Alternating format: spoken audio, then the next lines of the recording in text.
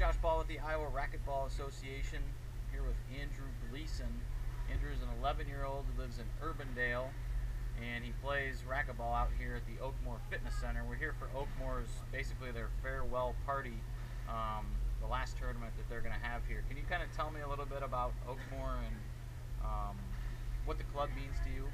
Well, it means a lot to me because I come up here five or six days a week and just get on the court and play. And, and then the fact that I, when I first started, I just, I went to, they have a pool and then it's just the fact that they have tons of racquetball courts makes it awesome for me. So it's pretty sad that this place is Yeah. closing down, huh? And if I had a million dollars, I would. Maybe someday you will and you can bring it back, right? Probably not. All right, so you just came back from California, where you got to play in the Junior National Olympics. Yep. Um, what divisions did you play there? I played in 12 and under doubles, 12 and unders, and 14 and unders. cool. Did you? Uh, I know you guys played a lot of matches while you were out there. Did you have? Did you? Were you fortunate enough to come away with any medals? Uh, yes, I came out with three. Three medals. So you medaled in every single one of your Yep. divisions. So can you tell me what medals you got in what divisions? In the in the gold division for 12 and under doubles, I got second, and it was a heartbreaker because uh, it, we lost a tiebreaker 11-9. Nah. Yeah, and if we if we would have had a gold medal hanging around I around your know. neck. if if we would have won, we would have been going to the Dominican Republic. Oh man, for uh. Junior Worlds. Yep. Uh, who was your doubles partner? Uh, Timmy Hansen, And how did you get hooked up with, with Timmy Hansen? Coach, Oh, uh, which coach?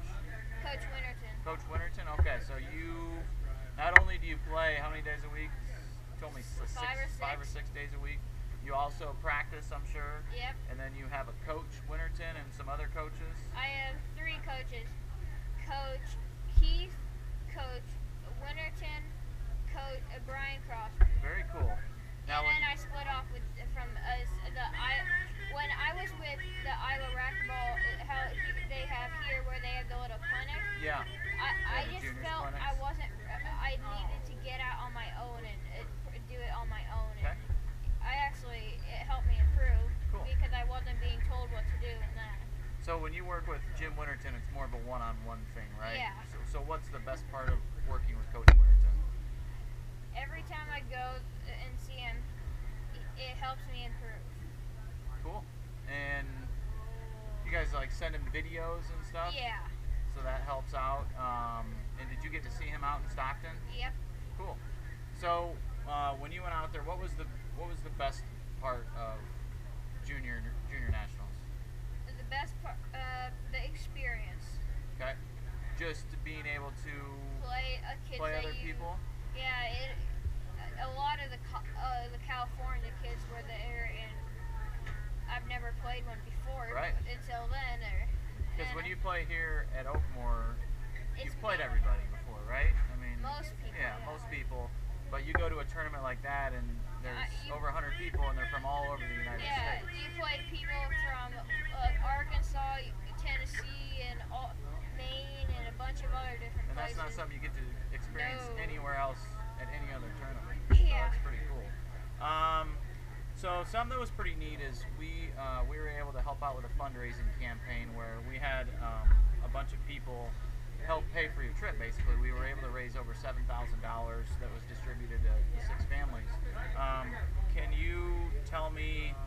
Uh, is there anything you want to say to those generous donors? I just want to say thank you if you donated.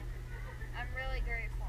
Do you think you would have been able to go on the trip had it not been all that money that was raised? Do you think he would have gone? Maybe, maybe, maybe, not. maybe not. I'm not But sure. because they were able to Yeah. raise so much money, it made that experience for you and other team Iowans, and then you were able to bring back three three medals back to Iowa Yeah. with you, right? Very cool. What's uh, what's your favorite part of playing racquetball? Uh, just the competition.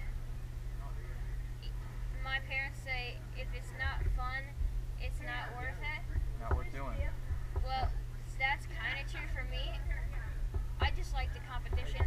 And you want to win. Yeah, I play to win, not Gotcha. Very cool. I play to not lose. That's the only reason I practice. I don't like losing. And that's why we practice to get better, Yeah. right? Mhm. And part of racquetball is a lot of part of, a, a lot of racquetball is having fun, but then you do want you do want to get better and you want to improve and you want to win tournaments and move up in brackets and, and your skill divisions, right? Yep. Very cool. Well, this has been uh, Josh Paul with Andrew Gleason from Oakmoor Fitness. Thanks, guys, again for tuning in, and thank you for spending a few minutes with me. You're welcome.